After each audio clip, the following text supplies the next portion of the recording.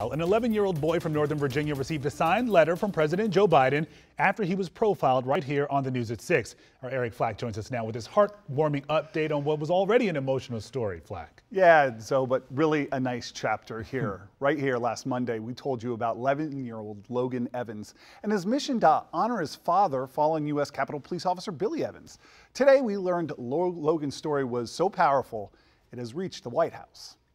The look on 11 year old Logan Evans' face when the letter arrived was priceless. Mom telling me Logan's jaw dropped when he saw he had mail from the White House. Dear Logan, President Joe Biden wrote, I heard that you kayaked all the way to D.C. to honor your dad. I hope you know that he would be so proud of your hard work and incredible heart.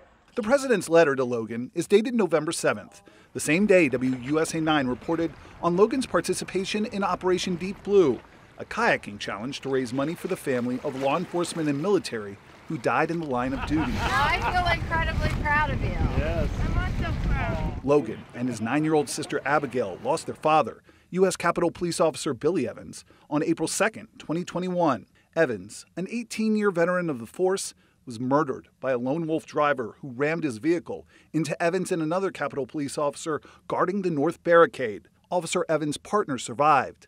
Billy did not. At first, I'm like, "You're lying.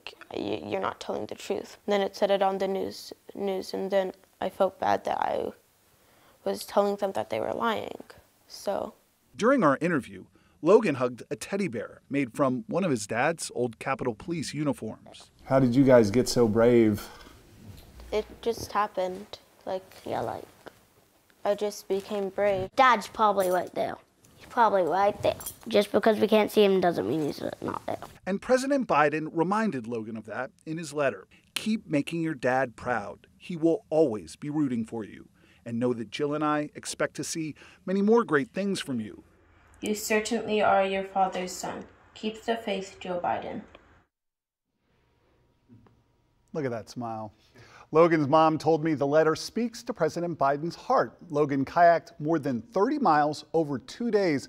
His father's photos, though, pinned to his life vest the entire time. Wow, this also speaks to Logan's heart, too. What, Absolutely. A, what a special human, you know, so selfless in this situation, not just thinking of honoring his father, but also other families in similar situation as Absolutely, well. and supported yeah. by his little sister, Abigail, as well. I love it all. All right, Flack, thank you.